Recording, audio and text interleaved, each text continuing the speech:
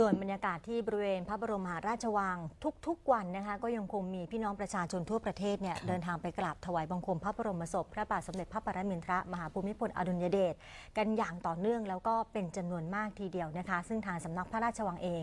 ก็เปิดให้กราบถวายบังคมพระบรมศพตั้งแต่เวลา5นาฬิกาถึง 21นาฬิกาปรากฏว่าพี่น้องคนไทยเนี่ยแหละไปรอกันตั้งแต่ตีสามทีเดียวนะคะ ซึ่งในแต่ละวันค่ะยังคงมีประชาชนจำนวนมากทีเดียวนะคะ เดินทางมา กราบถวาย บังคมพระบรมศพพระบาทสมเด็จพระปรมินทรมหาภูมิพลอดุลยเดชซึ่งการรับรู้ข้อมูลข่าวสารล่วงหน้า เพื่อที่จะเตรียมตัวกันก่อนนะคะ ที่จะเดินทางมาที่บริเวณท้องสนามหลวง จึงถือว่าเป็นเรื่องสำคัญแอปพลิเคชันนะคะ Zone Social นะคะเป็นอีกหนึ่งทางเลือกค่ะ ให้กับพี่น้องประชาชนได้มีการตรวจสอบข้อมูลต่างๆ ได้อย่างรวดเร็ว จะเป็นอย่างไรติดตามได้จากรายงานค่ะ ประชาชนทั่วทุกสารทิศที่หลั่งไหลเข้ามาถวายความอาลัยแด่พระบาทสมเด็จพระปรมินทรมหาภูมิพลอดุลยเดชที่มีจำนวนมากในแต่ละวัน ตลอดช่วงระยะเวลาที่ผ่านมาทำให้ประชาชนหลายคนอาจจะพลาดโอกาส ที่จะเข้าไปกราบถวายบังคม เนื่องจากจำนวนคนและระยะเวลาในการรอ หากไม่ได้ทราบถึงข้อมูลก่อนออกเดินทาง ซึ่งแอปพลิเคชันโซนจะทำให้สามารถตรวจสอบข้อมูลได้สะดวกขึ้น ผ่านทางสมาร์ทโฟน นางสาววันวิภาวงสมศรีเจ้าหน้าที่อัปเดตข้อมูลแอปพลิเคชันโซน ประจำท้องสนามหลวงเปิดเผยว่า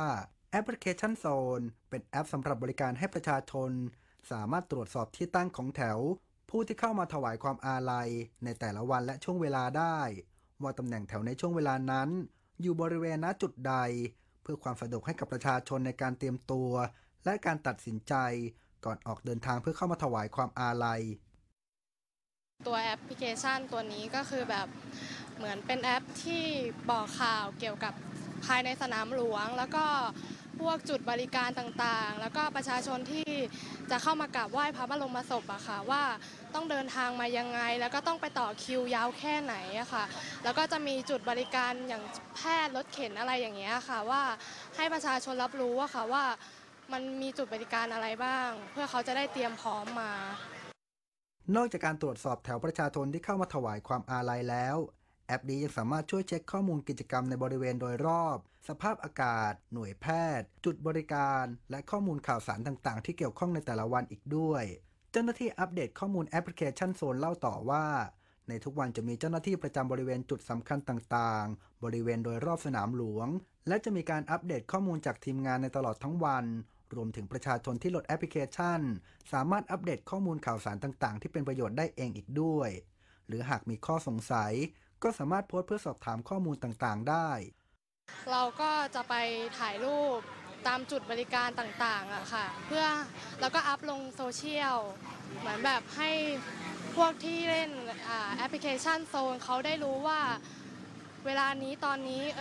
ประชาชนเยอะแค่ไหน แล้วก็มีจุดบริการอะไรบ้างค่ะมีสภาพอากาศด้วยค่ะว่าณเวลานี้ตอนนี้แดดร้อนไหมฝนตกหรือเปล่า สภาพอากาศเป็นยังไงอะค่ะ อัปเดตตลอด ถ้าวันธรรมดาก็จะอัปเดตประมาณครึ่งชั่วโมงอะไรอย่างเงี้ยแต่ถ้าเกิดเสาร์อาทิตย์ก็จะไวหน่อยอะค่ะ อัปเดตไวหน่อย ส่วนใหญ่จะเป็นเรื่องการต่อคิวมากกว่า ปัจจุบันมีประชาชนกว่า 70,000 คน ที่ได้ลงชื่อเข้าใช้บริการแอปพลิเคชันโซน ส่วนประชาชนที่สนใจสามารถดาวน์โหลดแอปพลิเคชันนี้ได้ที่ App Store ทั้งระบบ iOS และ Android